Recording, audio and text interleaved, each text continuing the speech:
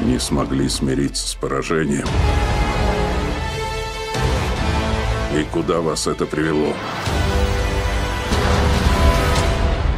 Снова ко мне.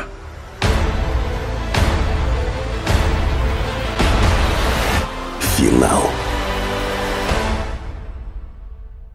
Эм, ну, вы реально думали, что это трейлер Бравл Старс в реальной жизни 4? К сожалению, нет. Но все же сегодня я расскажу вам, что будет дальше со скетчами на этом канале, и обсудим некоторые недоделки во всех трех частях. Лайк, подписка и поехали! Итак, начнем со второй части, а потом перейдем к третьей. Первую обсуждать не будем, так как это шедевр, и там недоработок почти что нету.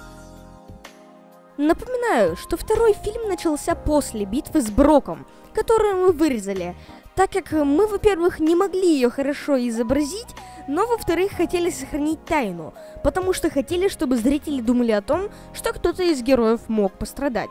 В общем, вот. У многих, возможно, был вопрос, откуда взялись ниндзя в доме. Вот объяснение. Когда из телефона выбрался Рика, он сразу сообщил Нане об адресе типичного кольта.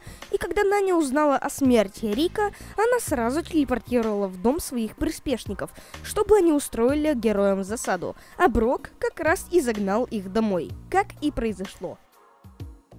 Да, во второй части есть такая проблема. Этот фильм не совсем напоминает именно игру Бравл Старс. Единственные вещи, в которых можно что-то найти, это типичный кольт и игровой автомат. И, в общем-то, все. Но, к сожалению, по-другому сделать это было невозможно. Мы хотели, чтобы в ней было немного больше экшена, чем в предыдущей. И у нас получилось это сделать, особенно в финале. Помните эту битву? Она была шикарной.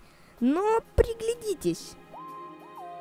Пересмотрите ее в замедленной съемке. Вы сможете увидеть, что большая часть ударов проходит по воздуху, из-за чего битва не ощущается живой. Но все же, битва была эпичной, а в конце, я более чем уверен, выпустили слезу, когда умер типичный Кольт, хоть эта слеза была глубоко в душе.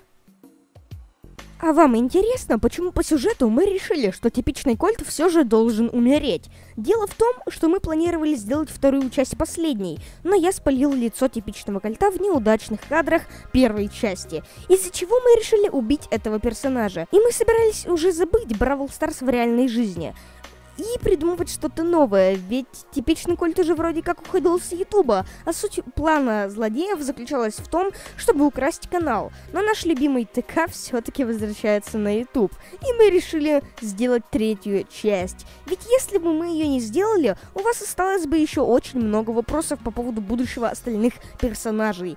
А вы ждали третью часть. Поэтому мы все-таки сделали ее. Начало в третьей части происходит через день после событий первой и второй части и вырывается очень дико, с очень давящей музыкой, ведь главного героя мучают флешбеки, и он считает себя виновным в смерти типичного кольта.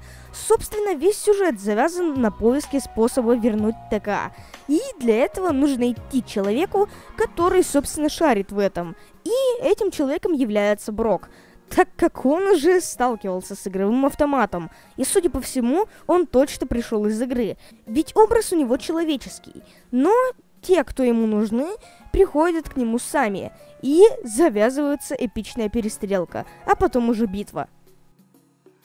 И, кстати, вы заметили, как сильно улучшились наши постановки драк? Теперь они более живые, чем во второй части. Согласны? Но удары же не по воздуху проходят, come on. Да, у третьей части есть такая проблема. На 50% это просто мультики из моделек Бравлеров. Но просто так нужно было сделать по сюжету. Да и это не сюжетная проблема. Да, в первой части тоже были Бравлеры, но их было не так уж и много.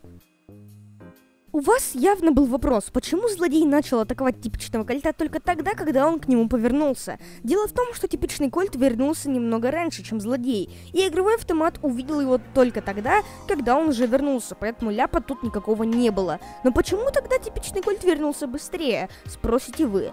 Ну и вот ответ. Дело в том, что ТК имеет человеческий образ, поэтому его код в игре немного другой, чем у всех остальных бравлеров, поэтому-то он и вернулся раньше. Раньше злодей мог одолеть типичный кольт в одиночку, а тут он вынес нас двоих. Почему? У нас была сцена, которую мы вырезали. Там Бип говорил, что он получил себе пассивку, но мы вырезали ее, потому что она все равно никому не интересна и только отнимает время. Но конец в третьей части получился все же очень хорошим и без всяких намеков на продолжение. Но почему я назвал это видео трейлер четвертой части? Кликбейт? А вот и нет.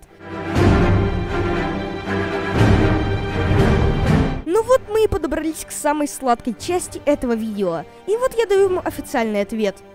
Работа над четвертой частью будет при вашем желании. Да, вы все правильно поняли. Сейчас коротко расскажу, что мы хотим сделать. У нас уже была такая идея, что мы сделаем мини-сериал из трех сезонов, по три серии в каждом. В каждом сезоне будут разные злодеи, и в целом мы сразимся с тремя сильными боссами. Первый сезон, по сути, уже отснят. Если вы хотите продолжение целого сериала, то все в ваших руках. Но не спешите бежать в комментарии. В них нам будет очень сложно искать количество, кто проголосовал за и кто против. Поэтому через 5 минут я в своем сообществе моего канала публикую пост, в котором будет голосование, продолжать ли нам сериал или все-таки не нужно хайпить на одном и том же. Поэтому через 5 минут заходите в сообщество канала и давайте свой ответ. Вы можете голосовать совершенно бесплатно, никаких денег мы с вас не берем. Но знайте, даже если большее количество голосов будет за, последнее слово все равно будет за нашей студией. Голосуйте, и итоги мы подведем через неделю. Всем удачи и всем пока!